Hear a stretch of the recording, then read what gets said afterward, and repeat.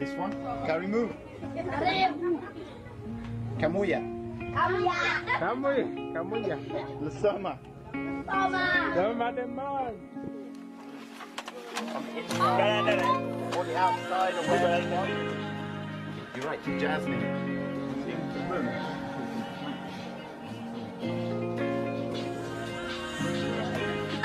Boba muai uno wanto. I love you.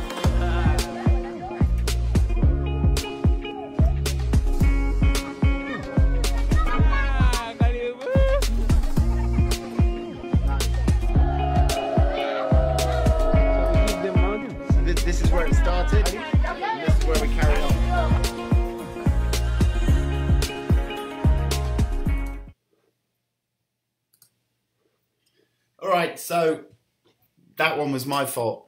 Earlier on, I was practicing the the live to make sure it would go okay, which obviously it didn't.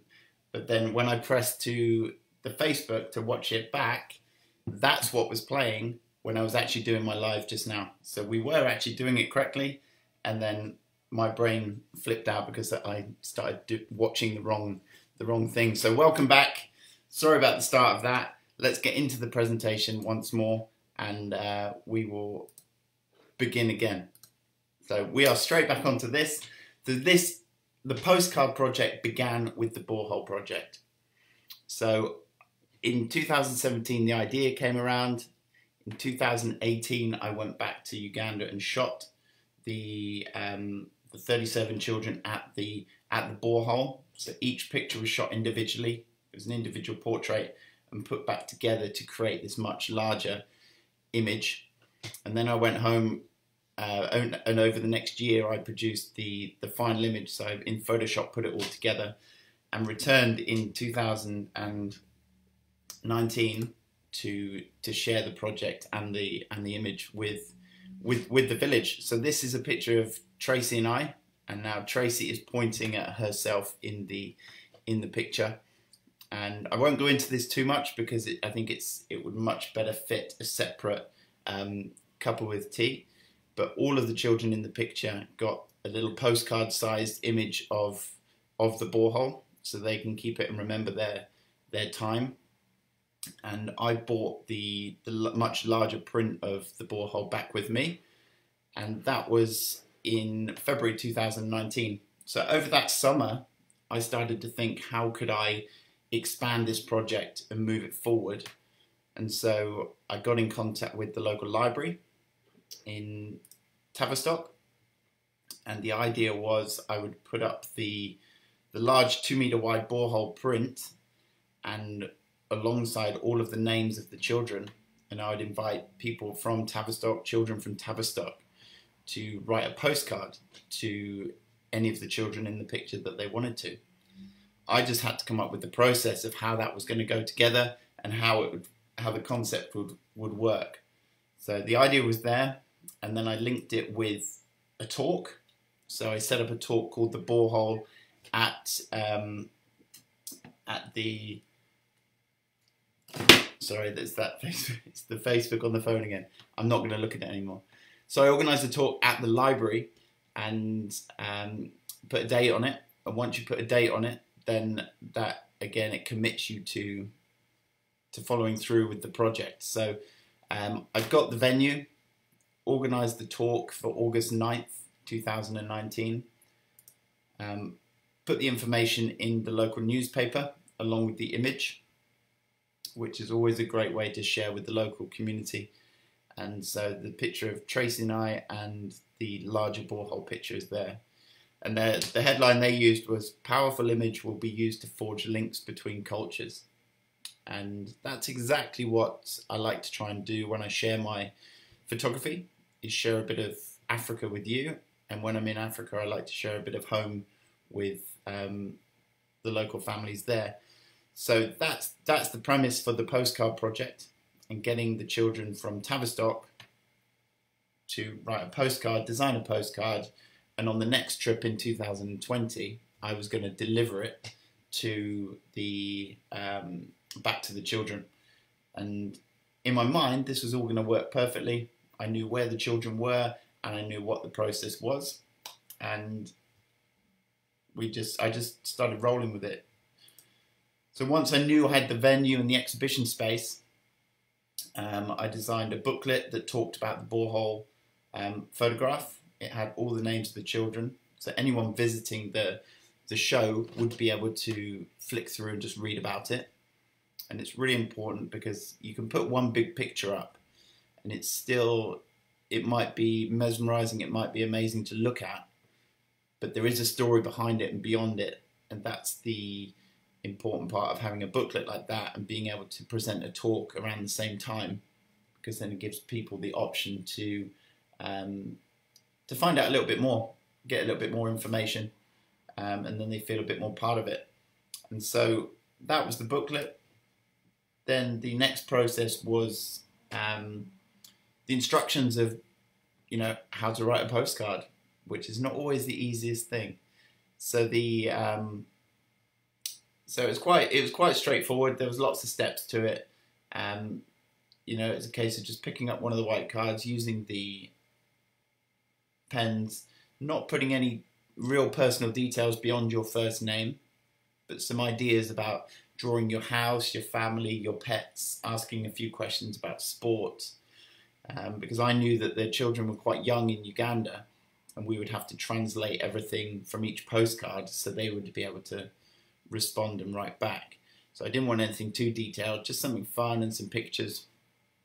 And then that would um, instantly create a bit of a connection um, between Tavistock and um, the village where I stay in Uganda. And if we go right back to when I was about 10 or 11 years old, there was a letter that I received from um, a guy called John Killingbeck, who was doing a trip in Antarctica with sled dogs. And I believe it was the last sled dog trip through Antarctica. I might be wrong. But the we wrote to him as a small school group, and then he wrote back answering all of our questions. So I knew that that letter had come from all the way in Antarctica.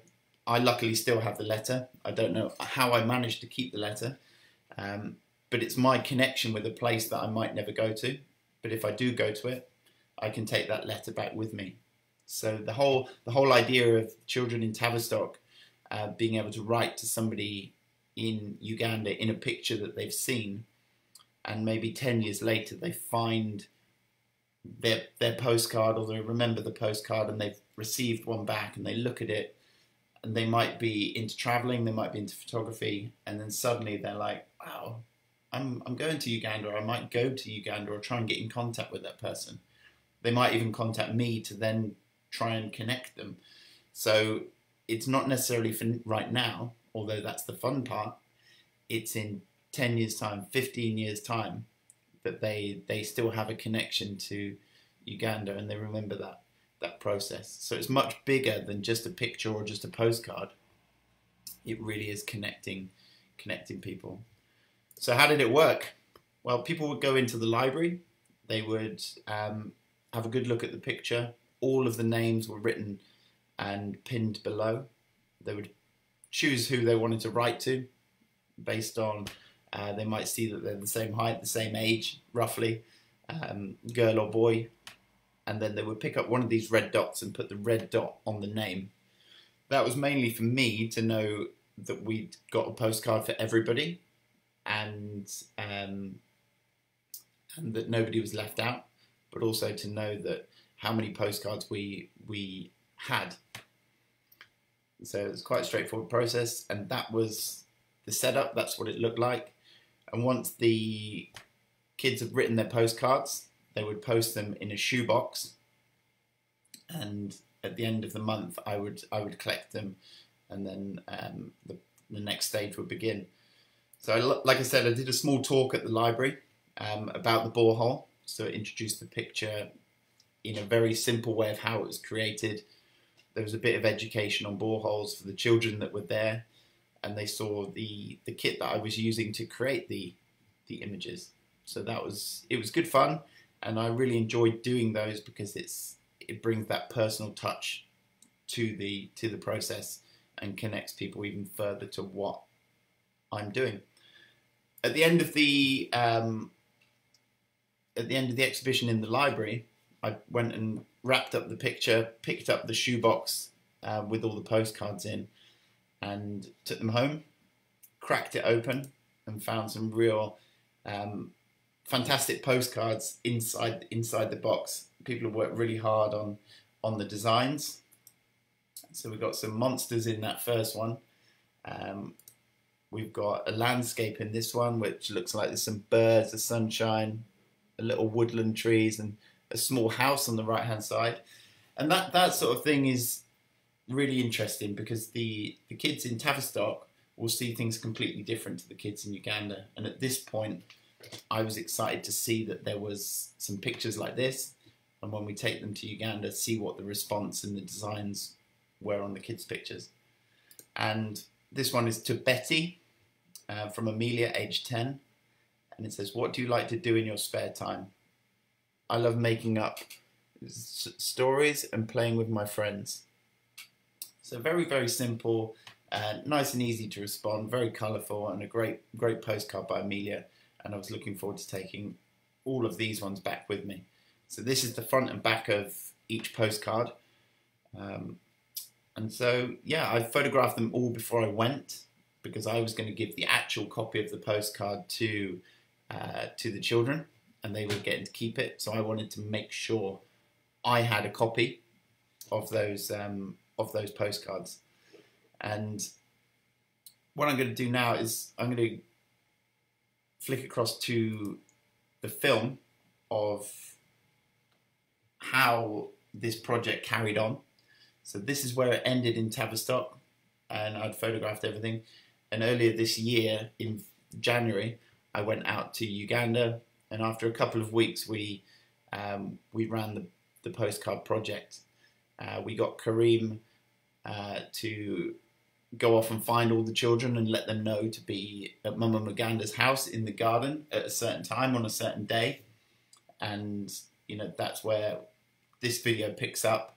And I might talk a little bit through it. You'll see me in the bottom left hand corner, but just enjoy this um, video. And this is how the, the rest of the project went down. And I'll see you through it or just afterwards.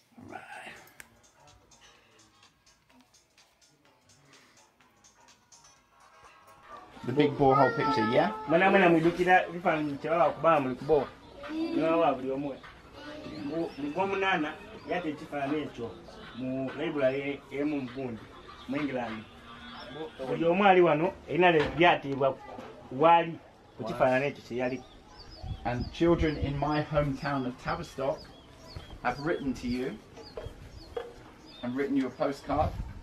They've asked you some questions and they've drawn some pictures. mwe abaana abaana mu kyalo kyaibwe ere mu nsi yaibwe babawandikira obukadde buno bababuuzaako ebibuuzo bye okuyiramu saawa And we've got the pencils. And you guys can write on the inside of this one. Over there as well. Nangobi, Nangobi. Nangobi yali abuze jjajja awumula. not here yet. Mate. So hopefully you should be able to hear me right now. This this is the fun part. All, all the kids had arrived. Kareem had done a fantastic job, and we were giving out the, the postcards. Um, I'd wrapped them in the postcard that they were going to reply with, so I'd gone and bought some green card. Uh, the postcard from the UK is tucked inside, and um, all the kids collected theirs, and then it was time to um, pick up the uh, the pens and just get cracking. It was back. Chill. ddala ddala Or the outside or wherever you want. So this this is the name of the person that's written to you. So Mastu has got Claire. The girl is called Claire.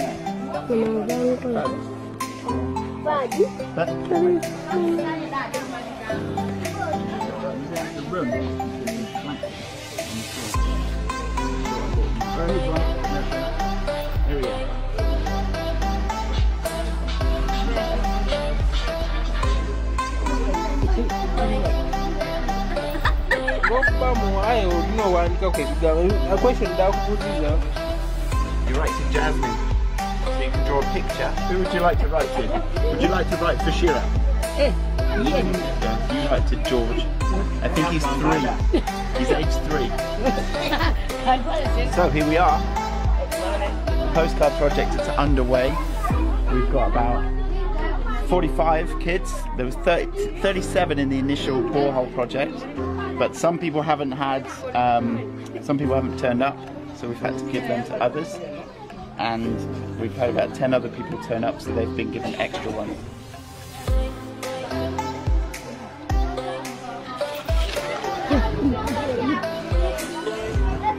So we have two more. We know where Ralph is. Will he be back tomorrow? Yeah. In today? Yeah, where is he? Playing with Ralph this morning. And he lost the uh, lost the tennis ball down the toilet. So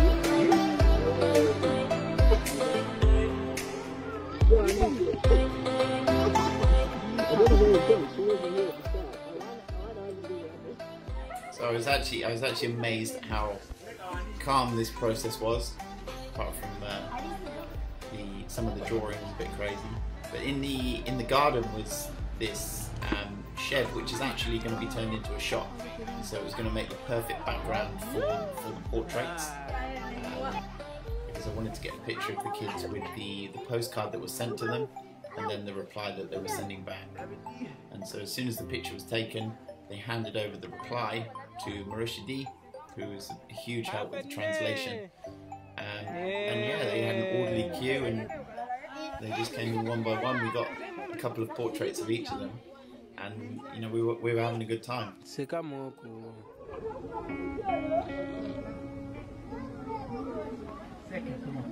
Seka David getting a little bit fancy with his uh, angles shooting through one of the holes in the in the wooden shop. Um, but Sekamu means smile, so we're saying that quite a lot, and everyone's encouraging everyone to smile, and that sometimes turned into some uh, crazy laughs, which is awesome.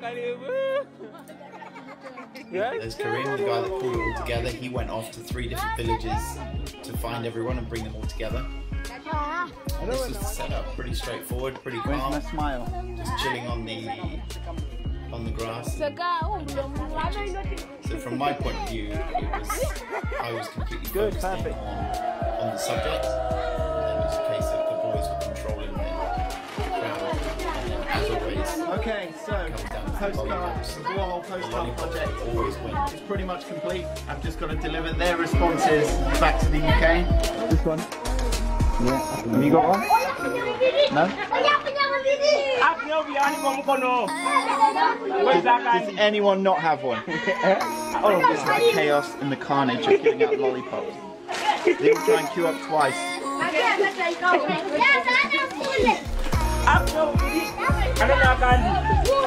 Boxes, but here they are. And I'm sure there's some interesting ones in there.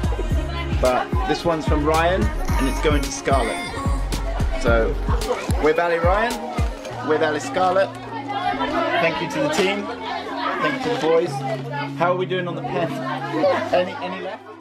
So what amazed me the most was actually that there were still pencils left that they haven't gone missing. So So we Karima collected them all up This is where it because he's, he's an artist. He loves drawing, so he collected them, and luckily he, he got to keep them. Um, but then we played football for a couple of hours with the tennis ball, using the the backdrop of the studio as as the goal. So the sun was setting, and we'd done our work, and it was an amazing time and then this these are the these are the images these are some of the portraits that that came out from that um, from that sitting so we've got uh, Lasoma on the left I'm not quite sure of the the guy's name just on the inside there. Uh, but I've met Lasoma quite a lot and I've photographed him over the last four years. So he's getting bigger he's getting cooler. And unfortunately at some point they're all going to get too cool to do some of these these portraits. So it's lovely to be able to go each year and, and put on a little project like this that um, they really get involved in. They obviously get a lollipop, but to connect the people back in Tavistock this time added a huge extra dimension to it. And so we'll flick through a couple of the girls. and then this is the this is the scene. This is one of my favourite photos, and it's of, of my little mate Ralph, and he's sitting there with both of his um, both of his postcards, orderly queue, and this is uh, I would say this is my favourite portrait from the um, from the shoot, and the postcards there, and there's a little picture in that one. Uh, there's a little lad called Will from Tavistock who who designed this monsters postcard, and he put a picture of himself in, so Ralph was able to see him. And not everybody did that, but I was glad that a couple of people did, and um, I was able to send a video to Will of of Ralph receiving his postcard, and so he got that. So it was an extra connection again on top of on top of that. His little Shira with her two postcards and then at the end you've got all of the kids. You would have seen that in the video. All of the kids up and waving their postcards that they get to that they get to keep, and we've got their postcards nice and safe. So, how did it all keep organised? Well, each postcard, each one of these postcards, which is the uh, response from Uganda to the UK, had a number. That number was linked to the number on the one that was sent, and I've got a sheet at home or I had it on the phone with me that that I was able to link up all the names so it wouldn't get too lost. But what I love about these postcards is they are they're covered in the orange orange mud from Uganda. They're completely um, natural. They you know we didn't tell them what to write. They designed what they wanted to. In some of the postcards, there's just squiggles because the kids were quite young. They didn't even answer all the questions back to the UK postcards but the names are on the front.